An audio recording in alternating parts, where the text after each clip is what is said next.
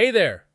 Did you know that with SkyRC Neo chargers, you can check the internal resistance of each cell in your battery?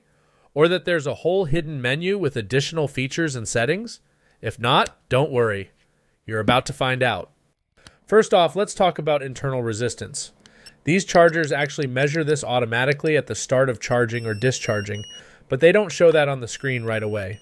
To see the internal resistance on the D200 Neo, all you need to do is scroll left once. If you scroll again, then it shows the voltage of each cell again, and so on. Keep in mind, scrolling right doesn't do anything. On the B6 or B6 AC Neo chargers, it's a little different. You need to press the plus button twice. One press shows you the voltages of each cell, but press it again and you'll see the internal resistances.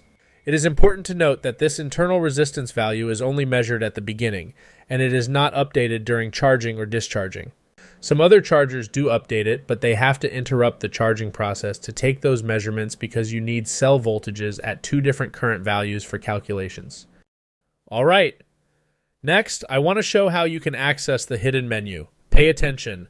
You need to remember this password. I'm joking, of course.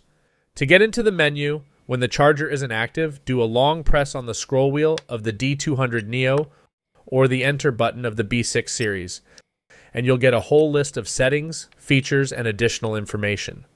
The most useful one is the battery check.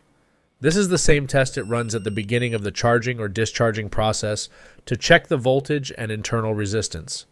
But here you can do that whenever you want without initiating charging or discharging. On the D200 Neo, it shows both the voltage and the resistance on the same screen. But on the B6 series, you need to press the plus or up button to switch between the two.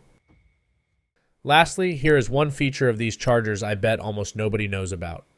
One of the items in the hidden menu is the task parameters. Let's go there. Here you can enable the hold voltage feature.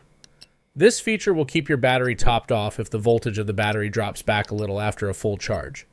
Pretty neat, right? Hopefully these tips help you get the most out of your SkyRC chargers. Give them a try and let me know what you think in the comments. Thanks for watching.